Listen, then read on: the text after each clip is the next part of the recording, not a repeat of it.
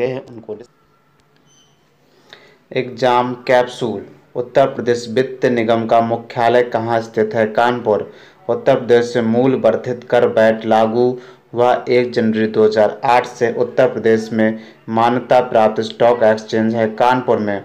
उत्तर प्रदेश में लघु एवं मध्यम उपक्रमों को किसके द्वारा दीर्घकालीन ऋण उपलब्ध कराया जाता है? वह है उत्तर प्रदेश वित्तीय निगम, राष्ट्रीय चैम्बर ऑफ़ उद्योग एवं वाणिज्य उत्तर प्रदेश स्थित है आगरा में। उत्तर प्रदेश के व्यापार पर क्षेत्रों में किसका राजस्व संग्रह में उच्चतम स्थान है? लखनऊ, नोएडा, उत्तर प्रदेश के किस ज़िले में अवस्थित है? गौतम बुद्ध नगर,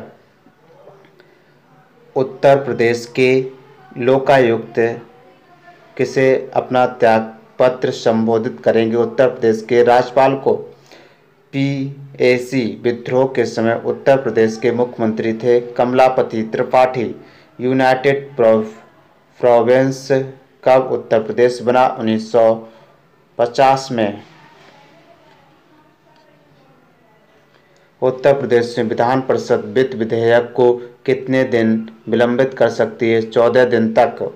पश्चिमी उत्तर प्रदेश में कौन सा एक ऐसा समुदाय है जिसमें खाप पंचायत व्यवस्था एक परंपरागत सामाजिक संगठन के रूप में पाई जाती है। जाट उत्तर प्रदेश किस क्षेत्रीय परिषद का सदस्य है मध्य क्षेत्रीय परिषद, उत्तर प्रदेश के नगरों में महापौर का निर्वाचन होता है। सीधे नगर के निर्वाचकों द्वारा मुख्य मेट्रोपॉलिटन मजिस्ट्रेट हैं कानपुर। उत्तर प्रदेश में कुटुंब न्यायालय किस विषय संबंधित सुनवाई नहीं करता है? इतर वैवाहिक मामले। अब तक उत्तर प्रदेश में कितनी महिलाएँ मुख्यमंत्री के पद पर रही हैं? दो। गौतम बुद्ध नगर ज़िले का मुख्यालय है ग्रेटर नोएडा में। उत्तर प्रदेश का इकहत्तरवा जनपद है काशी